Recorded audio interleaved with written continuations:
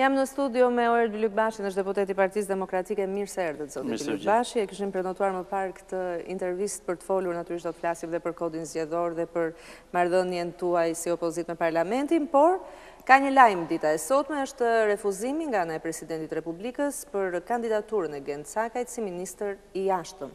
Do doja një opinion për këtë. Është një akt i rëndësishëm i Presidentit të Republikës, nuk është akt i zakonshëm. Në fakt, Presidenti i Republikës, zoti Meta është hera e dytë që vepron qartazi në zbatim të kompetencës së tij kushtetuese, tentativa e Edi Ramës për ta kryeministër, Edi Rama person nuk është se ka rëndësi opinioni i tij, po si kryeministër i cili kërkon të zvogëlojë, ta bëjë hiç rolin e Presidentit të Republikës në një domen që është i tij qartazi nga Kushtetuta, që të dekretojë ministrat, Është një tentativë për të që shkon në linjën e përgjithshme të Edi Ramës që të marrë gjithë pushtetet. Ndërkohë që Presidenti i Republikës është atje pikërisht për të vënë ca caqe, disa caqe, që kur cënon interesa të mëdha, kushtetuese apo të një karakteri tjetër të rëndësishëm publik, Presidenti i Republikës ndërhyn dhe në rastin konkret kemi një dekret i cili i mohon kryeministrit, emërimin e një e një prej ministrave më të rëndësishëm që ka kabineti, që është ministri i jashtëm. Motivet janë shumë të qarta në dekretin, pra në arsyetimin e dekretit të presidentit dhe unë besoj që do të jetë diçka që është diçka që Edi Rama kryeministri duhet të reflektojë shumë fort. Kemi të bëjmë me një me refuzimin e një propozimi i cili qartazi jo vetëm nuk reflekton atë nevojë që ka sot diplomacia shqiptare për për eksperiencë, për vizion, për po themi njohje thelbësore të një procesi të tërë që ka sjellë Shqipërinë deri këtu. por por mbi të gjitha qëndrime thelbësisht të rrezikshme të shpallura nga ky person. Ky është vendimi, është një letër në fakt që i ka nisur kryeministrit vendit presidenti i Republikës, është një vendim mes të cilave është refuzimi i propozimit për emërimin dhe do të ngelesha tek citimi i një interviste që ka dhënë për zonën e debatit në Klan Kosova në një nëntor të vitit dy mijë e tetëmbëdhjetë zoti Cakaj dhe kjo është pika e parë ku mbështetet Presidenti i Republikës për refuzimin e dekretimit të tij si Ministër i Jashtëm. Ndjekim materialin, korrigjimi i kufijve, ndjekim çfarë ka thënë konkretisht zoti Cakaj dhe kthehemi në studio. Vijmë në studio. Ky ishte refuzimi i parë, arsyeja e parë e refuzimit nga zoti Meta, si ju duket? Unë besoj që është plotësisht i justifikuar. Presidenti i Republikës ka një rol të rëndësishëm në politikën e jashtme, jo vetëm për faktin që është ai që emëron dhe shkarkon, mhm. po themi, diplomatët e Shqipërisë, pra ambasadorët e Shqipërisë, përfaqësuesit e Shqipërisë, të Republikës së Shqipërisë në botë, është ai që pranon letrat kredenciale, po ka një rol thelbësor në në marrëveshjet ndërkombëtare që nënshkruan shteti shqiptar. Pra, është një domenë në të cilën ka një këmbë të rëndësishme Presidenti i Republikës. E për rrjedhojë e ka gjykuar shumë të rëndësishme jo vetëm çështjen e përvojës së zotit Cakaj, e cila është nuk besoj që vlen të hyjmë shumë, thuhet që është shumë i lexuar, mund të jetë kështu dhe unë e vlerësoj shumë këtë pjesë, por nuk është çështje, ne nuk do t'i mbysim me libra, po themi, në diskutime ata që janë, po themi, pala kundërshtare jonë. Gjetjet e presidentit, lënë vend për subjektivitet apo janë gjetje në opinionin tuaj, të cilat e justifikojnë refuzimin? Unë besoj që qëndrimi për çështjen për të cilën zoti Cakaj është shprehur kaq haptazi, në mbështetjen e një linje që është qartësisht linjë tezë serbe, Dhe për këtë mund ta them që është tezë serbe, sepse shumë herët sesa kaq, Ivica Daçiç përmendte në kohën e një, po themi, incidenti në territoret shqiptare në Serbi, po. heqje e një monumenti në atë kohë, e përmendi këtë për herë të parë në atë kohë.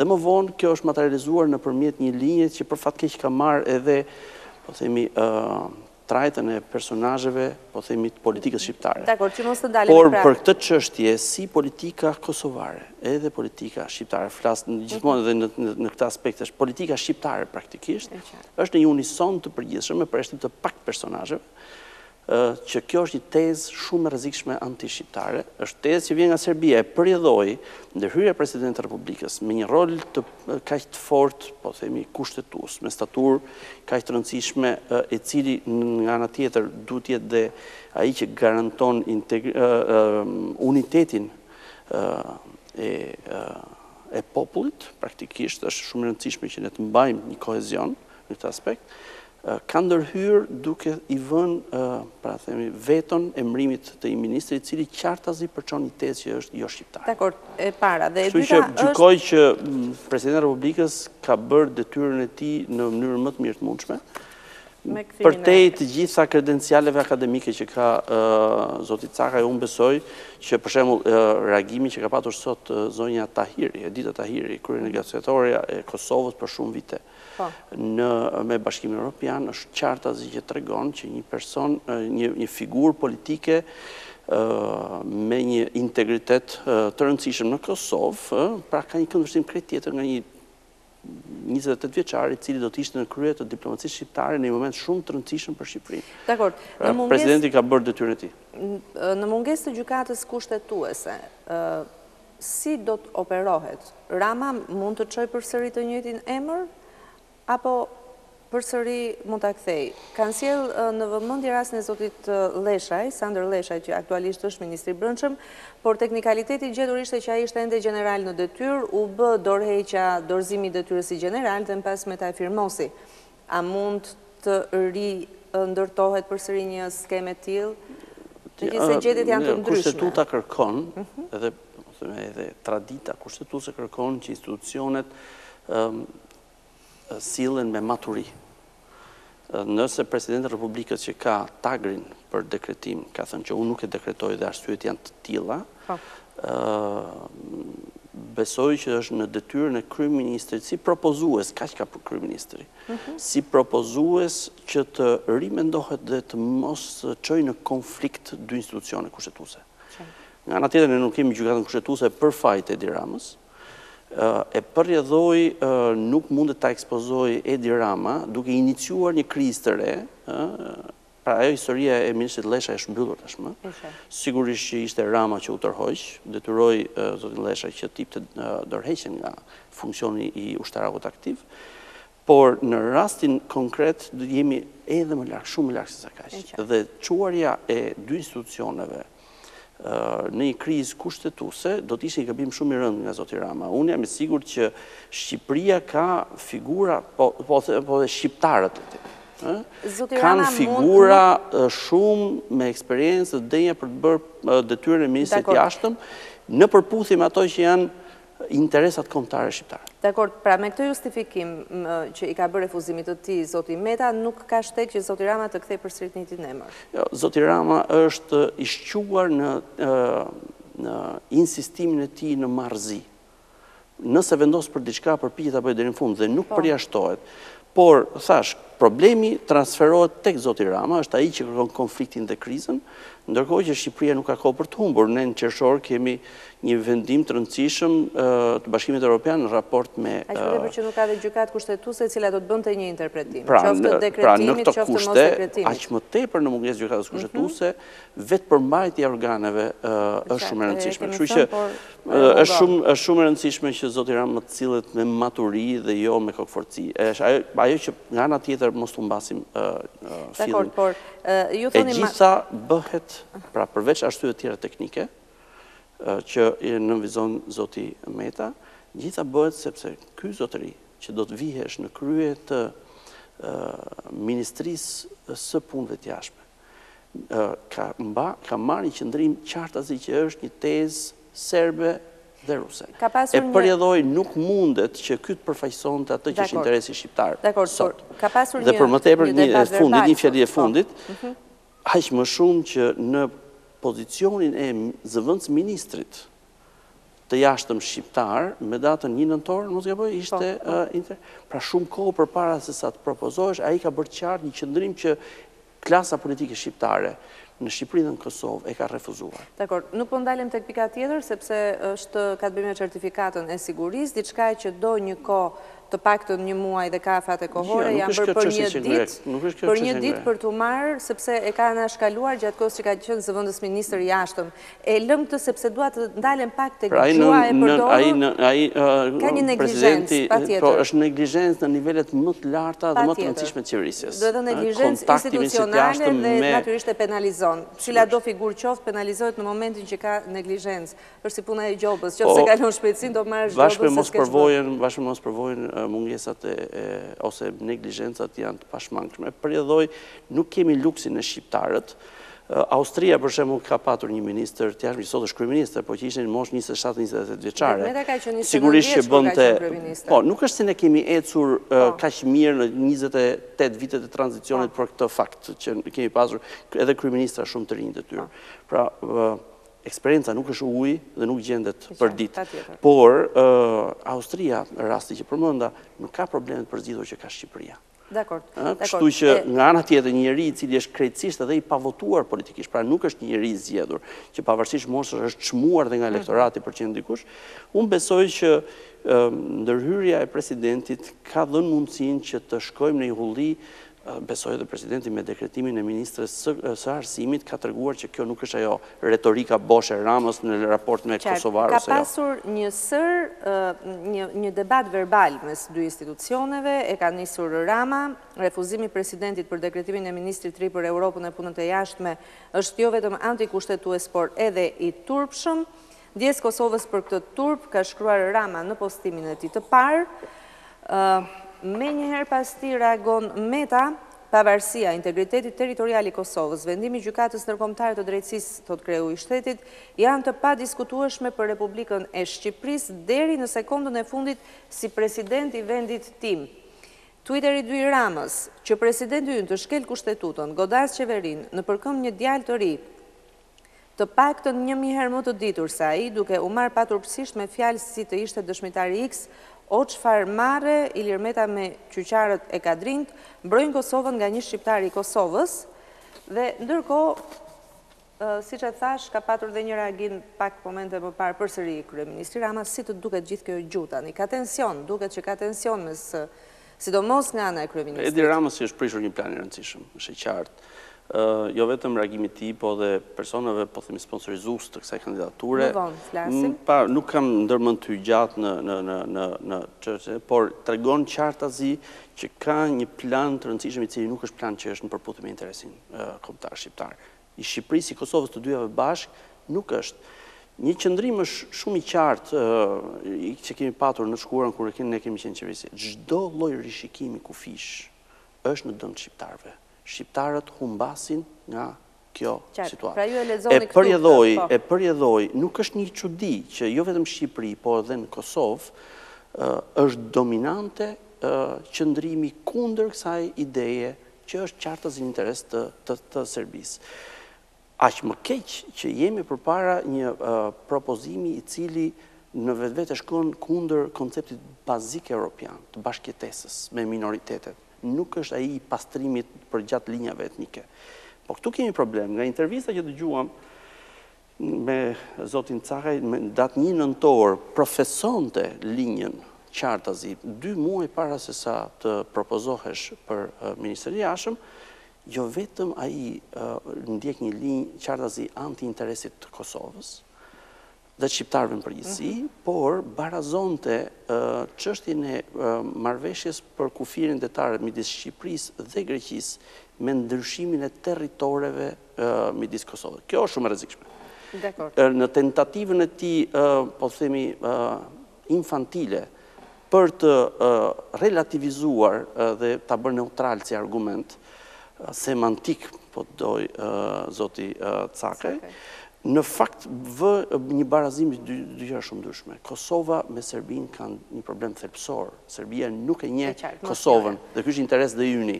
Kurse Shqipëria dhe Greqia janë dy shtete që janë dhe aleate në NATO dhe është një çështje që është e krejt një natyre tjetër. Dhe ju e shihni këtë në lidhje dhe me reagimin e Ramës? Papjekuri apo unë e shoh, unë e shoh akoma shumë më keq pra qëllimin e tij. Reagimi i Ramës është i lidhur me të gjithë këtë gjë, është i papranueshëm toni i tij, ai nuk është në gjendje të bëjë gjykatën kushtetuese. E ka lënë Shqipërinë pa gjykatë kushtetuese, por nuk është ai në gjendje të thotë çfarë është kushtetuese apo jo. Për fat, Kushtetuta përcakton që interpretimin e parë të Kushtetutës e bën organi i cili e zbaton për herë të parë, Presidenti i Republikës ka bërë këtë, nëse ka problem zoti Rama duhet t'i drejtohet Gjykatës Kushtetuese, nuk e thotë dot këtë pjesë. Baton Haxhiu ka patur një, ka bërë një letër të hapur për Presidentin Ilir Meta, besoj e ke lexuar, unë do të citoj vetëm mbylljen e letrës, Ilir, dëgjoje mirë çka po të thotë Batoni. Po gabon shumë dhe mos shko ma tutjeshëm në këtë gabim historik. Unë do doja një koment për këtë. Në fakt nuk do doja të hyja në komente në lidhje me këtë. Unë sigurisht që e gjej të papranueshme këtë gjë, po i drejtohet, është një person sado i respektuar në media etj, nuk, është një ofezë karshi një organi kushtetues siç është Presidenti i Republikës. Nuk e marr as në asnjë formë si kërcënim, thjesht e gjej të papranueshme gjuhën, kuptoj interesin e madh për dhe ose prishjen e interesit të madh, sepse është i njëjtë me reagimin e kryeministrit, po unë nuk besoj që është në tagrin e tjetërkujt përveç se kryeministrit që të vetëm propozojë ministër. Mbyllet këtu çështja, Presidenti i Republikës e vendos. Nuk besoj që vlen të zgjatemi shumë. E mbyllim, mos të zgjatemi më me këtë, e kuptuam qëndrimin tuaj. Këto ditë Këshilli i Lartë i Prokurorisë ka hapur garën për pesëmbëdhjetë anëtarët e SPAK-ut, e Prokurorisë së Posaçme Antikorrupsion. I referoheni ju, i referohet mazhoranca. Prisni se do ngrihet spaku pastaj do shikoni ju, hekura, njerëz të pushtetshëm mbas hekurave etj etj. Zoti Bylykbashi në opinionin tuaj, do ta arrijë spaku të vendosë drejtësinë e munguar dhe vërtet mbas hekurave të shkojnë ata që e meritojnë të shkojnë mbas hekurave? Kjo është shpresa e madhe që ne kishim ditën kur votuam për për reformën në drejtësi, dhe shpresa e madhe që ne kishim ditën kur ne votuam vetëm një nga ligjet e reformës në drejtësi. Po. Pra i vetmi ligj që ne kemi votuar me konsensus është ligji për SPAK-un. Për një po. arsye shumë thjeshtë, sepse bashkë me partnerët me me Shtetet e Bashkuara të Amerikës mhm. arritëm të ndryshonim qëndrimin e qeverisë që ishte, fuste mekanizmat e kapjes. Partnerët amerikanë na mbështetën, ne i hoqim dhe kjo qe arsyeja që ne votuam me konsensus, është i vetmi ligj. Kjo thotë është shpresë e madhe. Problemi është tjetër kund. Ju e dini shumë mirë debatin e madh që çoi në marrëveshjen kushtetuese të 21 korrikut, për rrjedhojë votimin e datës 22 korrik, që ishte heqja e filtrave jashtëparlamentarë në përzgjedhjen e anëtarëve të Këshillit të Lartë Gjyqësor dhe Këshillit të Lartë të Prokurorisë. dhe meqë po flasim për këshillin e lartë të prokurorisë, fokusojmë këtu. Futja e filtrave çoi në mënyrë, futja nëpërmjet ligjit, çoi jo vetëm në thyrjen e marrëveshjes kushtetuese, jo vetëm në shkeljen e kushtetutës, gjykata kushtetuese nuk ka dhënë një vendim përfundimtar për këtë çështje, duhen 5 vota, ka votuar vetëm me 4. E për rrjedhojë, ne kemi një plagë të hapur aty.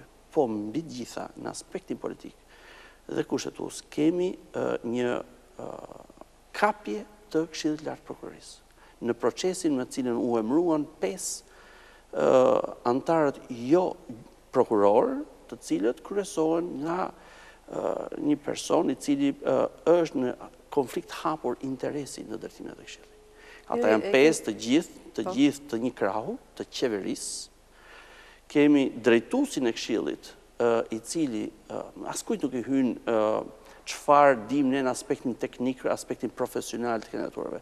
Percepcioni publik është konflikti i hapur i interesit që ka drejtuesi i Këshillit të Lartë të Prokurorisë, prokurorët e përzgjedhur u u filtruan me filtër të hollë për të qenë ata që i duheshin maxhorancës, pra ne kemi Këshillin e Lartë të Prokurorisë i cili është qartazi i kapur dhe konflikti i interesit me drejtuesin, me zotin Ibrahimi është për faktin që ka qenë një marrëveshje e qartë e mbështetur nga partnerët ndërkombëtarë që hartuesit e reformës në drejtësi, pra ekspertët e lartë që do hartonin, që ishin qeverisë, një prej tyre qe zoti Ibrahimi, që ishin pjesë e procesit të hartimit të reformës, nuk do të merrnin poste, me një arsye shumë të thjeshtë, të pranuar nga ndërkombëtarët. Nuk mund të shkruash reformën për t'i dhënë punë vetes.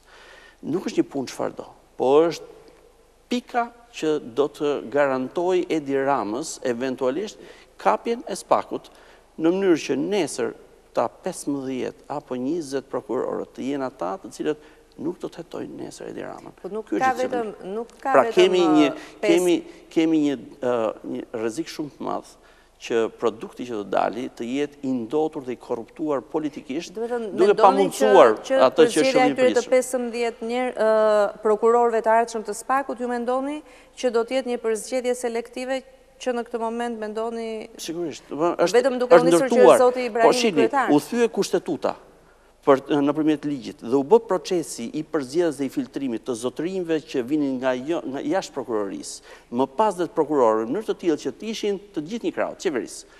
Ë aty ata persona janë po aq të majtë sa që jam unë i djathtë. Këta persona, duke fillu nga drejtuesi i këshillit etj. Nuk ka rëndësi aspekti. Po pra, gjykoni që tani punën e SPAK-ut. Po më nuk, ju mos, jo SPAK-u, SPAK-u... Po duhet të shohim ata 15 të cilët... Ne po flasim për Këshillin e Lartë të Prokurorisë. Po Këshilli i Lartë i Prokurorisë po përzgjedh kandidaturat. është ndërtuar, u vonua gjithë ky proces, u mbajt Arta Marku një vit prokurore e përkohshme, ka kaluar vitin, pikërisht për të ardhur te ky rezultat. Dakord, është vlerësimi juaj kështu, por... Për rrjedhojë, ne kemi një rrezik të madh që SPAK-u që është shpresa, mhm, që politikanët e korruptuar, të shkojnë drejt përpara drejtësisë, sido që të jetë ligji, po. Drejt hekurave të burgut, të jetë i komprometuar sot. Një proces drejtësie gjyqësor merr disa vite. Nëse ne e korruptojmë dhe instrumentin me të cilin do t'i çojmë atje, pastaj humbet shpresa. Dakord. Do të flasim pak për reformën zgjedhore. Në mesin e muajit dhjetor të kaluar, në fakt, mazhoranca ka lënë një draft propozim në Kuvend, pa praninë tuaj, natyrisht, por gjithsesi ishte një draft propozim i cili kishte dy momente të ngritura dhe nga ju, siç është votimi elektronik dhe votimi i shqiptarëve që jetojnë jashtë atdheut. Këtë të dytën këngulin socialistët shumë. Megjithatë, ku jemi me reformën zgjedhore dhe si do të shkohet në zgjedhjet vendore në opinionin tuaj? qëndrimin edhe në emër të Partisë Demokratike e kam bërë shumë qartë edhe si bashkëkryetar, edhe si edhe në planin tim personal e kam bërë shumë qartë. Partia Socialiste bëri dy herë tentativë për të minuar procesin e reformës zgjedhore. Hodhi një draft të parë diku nga tetori, duke krijuar një pështjellim shumë të rëndë për procesin dhe praktikisht vrau Reformën Zgjedhore, mundësitë e fundit që ishin në dhjetor dhe ende kishte mundësi, duke bërë propozime të cilët ishin krejtësisht të pakonkorduara. Reforma Zgjedhore, sidomos kur bëhet vonë, ka shumë rëndësi që të jetë konsensuale. që po. të gjithë ne ta besojmë, se janë rregulla loje. Me reformë zgjedhore nuk fitohen vota. Pra, pra nuk fitohen mhm. vota, po ta flasim për shqiptarët njëherë, po është turp i madh në 2019 ne diskutojmë ende situatën, për këto problemet e rënda zgjedhore. Po hajde të flasim, thonë ata. Po nuk është me të folur, është me të bërë, dhe jua them pak më pas. Po jua them pak më pas. Jo, jo, jua them pak më pas. Në fakt, më, atëherë, një nga personazhet më të dëmshëm, për procesin e reformës zgjedhore ka qenë zoti Taulant Balla me deklarimet e tij në çështje rivaliteti me bashkëkryetarin e komisionit apo çështje të tjera me deklarimet e tija të papërgjegjshme ka dëmtuar vazhdimisht sepse komisioni i reformës në nivelin teknik e vazhdoi punën deri në dhjetor. Ndërhyrjet e tij që janë të qarta se ai është vetëm zëdhënës i i Edi Ramës për të turbulluar dhe për të mos ta bërë procesin e reformës, duke dëmtuar pikërisht momentin e fundit, kur kishte ende një hapësirë rreth dy javore për ta mbyllur, ai bëri një dëm të madh. Po nuk i hyjmë e, emrave individual se pak rëndësi ka në këtë histori. Ë, një gjë duhet të kuptojmë shumë qartë. Ato që do të ishin ndryshime në kodin zgjedhor, në dhjetor eventualisht do ishin pjesë shumë e vogël në raport me atë që ka identifikuar reforma zgjedhore si probleme dhe mhm. zgjidhje. Unë e kam thënë dhe më herët këtu në studion tuaj, ka të tjerë të cilët e kanë kapur më pas dhe po vazhdojnë tani duket si një, po e thonë si lajm qeveria, një pikë katër milion karta identiteti të zgjedhësve shqiptarë skadojnë midis katërmbëdhjetë janarit dhe tetëmbëdhjetë qershorit. Është koha kur u prodhuan dhjetë vjet më përpara. Kur i prodhoi qeveria e Sali Berishës një pikë katër milion karta, Ishte një projekt dy vjeçar me një shtrirje logjistike të jashtëzakonshme për të përballuar atë fluks. Nuk ekziston fare një infrastrukturë e tillë, që do të thotë një pikë katër milionë karta identiteti që skadojnë do të jetë e pamundur për t'u bërë. Përveçse, në mënyrë mhm. selektive, do të bëjë qeveria vetëm personat, siç po na vjen informacioni, planifikimet që po bëjnë shtabet e Partisë Socialiste është të përzgjedhin njerëzit e tyre. Jo vetëm kaq, në kohën tonë kishte subvencionim të çmimit.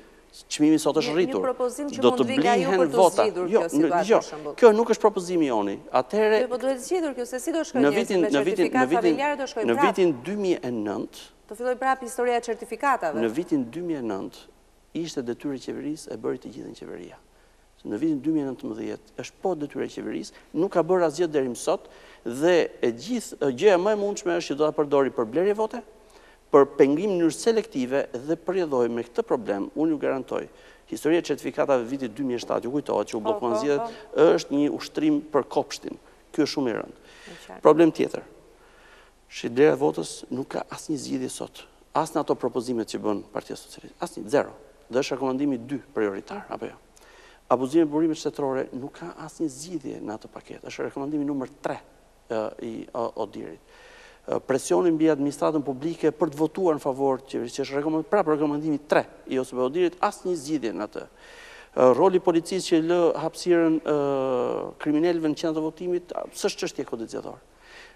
Katastrofa që po jemi gati për t'u përballur me listat e zgjedhësve për shkak të dështimit total të sistemit të adresave dhe nga ana tjetër mos mirëmbajtjes për më shumë se një vit të sistemit të gjendjes civile, pra me zgjedhës që shkojnë dhe bëjnë turistin nga një qark në qarkun tjetër, është e tëra e qeverisë, nuk ka lidhje as me Kodin Zgjedhor e nuk duhet ndryshuar asnjë ligj. Pra, problemet reale nuk janë te Kodi Zgjedhor. Problemet reale për zgjedhjet, të cilat mund të vënë në diskutim bërjen fizike të zgjedhjeve, po janë ligje të thjeshta, janë ligje të thjeshta, janë vendime qeverie, janë gjëra që... Ka kohë në qoftë se do të ketë vullnet nga pala tjetër, ka kohë që të gjitha këto të zgjidhen, apo ju pastaj do të merrni një vendim që do të jo, pyes më do? Jo, thashë dhe njëherë, këto janë përgjegjësi e qeverisë, janë çështje të qeverisjes, pra, duhet t'i bëjë qeveria, po nuk është lidhje, nuk ka lidhje me tryezën.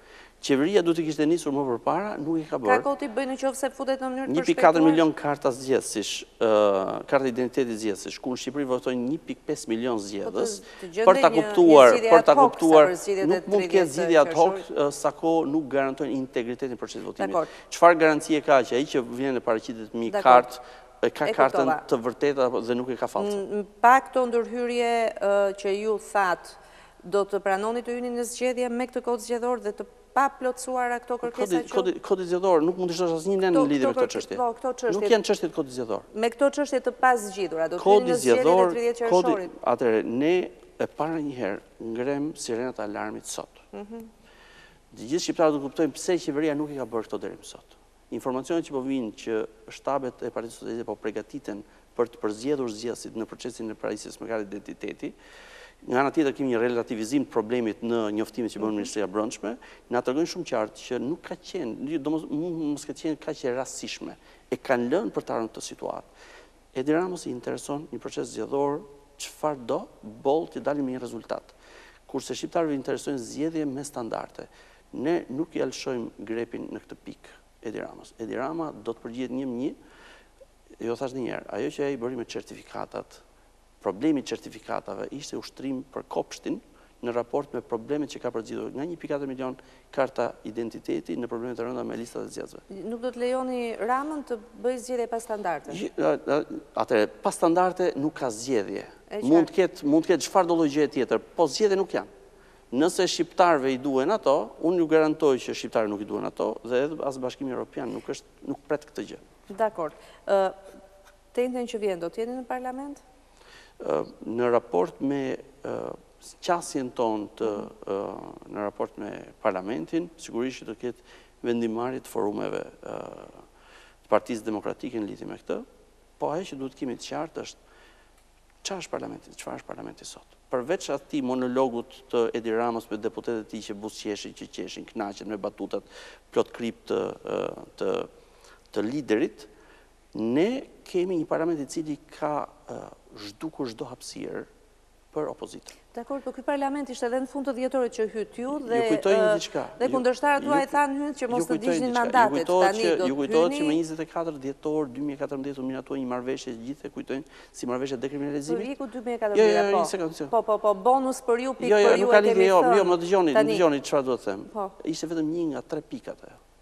Pika tjetër ishin hapësirat e opozitës në parlament. Pra Edi Rama ka shkelur edhe marrëveshjen që ia kërkoi Bashkimi Evropian. Dakord, pra dakord, po ndenjët gjashtë muaj në dy mijë e tetëmbëdhjetë të hyjnë në fund. Jo, jo, nuk ka rëndësi, ajo është e shkuar, është tregon sjelljen tipike të Edi Ramës. Pra sot në parlamentin shqiptar nuk ka minimalisht hapësira për opozitën. Dakord. Vendimmarrjet ne do t'i bëjmë në funksion të një analize të kujdesshme të gjithë situatës, dhe kush janë objektivat që ne mendojmë që opozita do të përfaqësonte më mirë interesin publik pa qenë fasadë e Edi Ramës aty. Në parlament. Pra domethënë deri tani nuk keni një vendimmarrje për të qenë pjesë e parlamentit. Ju thashë që do të ketë vendime të cilat ju do t'i merrni vesh kur të mblidhen forumet e Partisë Demokratike. Pyetja e fundit megjithëse kam kaluar çdo limit kohor, protestat, si Po qëndroni si po i monitoroni protestën e studentëve, sidomos se te protesta e Unazës së re çdo mbasdite është një përfaqësues i opozitës aty dhe i mbështet njerëzit që kanë dalë protestë, po me këta protestën e studentëve ka një barazlargim duket. Jo, nuk është çështje barazlargimi, domethënë është e qartë, studentët kanë një kauzë të tyren që është e padiskutueshme. Ka një tentativë të Edi Ramës për të thënë që jam unë, do ta udhëheq unë, pra ai do të bëjë protestë kundër vetes së vet, Qesharake gjithë qëndrimi i Edi Ramës, studentët e kanë grisur praktikisht në publik Edi Ramën. Ai nuk e priste këtë. Mendonte që sjellja e studentëve do të ishte e ngjashme me atë shpërndarjen e certifikatave të Aluiznit, ndërkohë që studentët e kanë grisur publikisht, pikërisht në terrenin e tij, tek humori dhe tek sarkazma. E kanë mbytur. Edi Rama do të përpiqet ta shuajë, ta tresë, Unë uroj që studentët do të kenë qartësinë, atyre nuk i duhet një spartak, atyre i duhet një kauzë e qartë, nuk ka nevojë që nëse thonë, unë jam spartaku X-i apo Y-i, e rëndësishme të kenë një kauzë të qartë, dhe kërkesa për të anuluar ligjin e arsimit të lartë, nga ku burojnë shumica e problemeve që praktikisht këpusin ëndrrën e tyre për t'u bërë qytetarë të denjë të këtij vendi, Besoj që është një kërkesë e drejtë dhe duke ecur në këtë drejtim, ndër të tjera japin shpresë për politikën dhe për ndryshimin politikën shqiptare. Unë ju falenderoj shumë zoti Bylykbashi për gjitha opinionet që ndatë në studion tonë. Isha me deputetin e Partisë Demokratike, zotin Oerd Bylykbashi.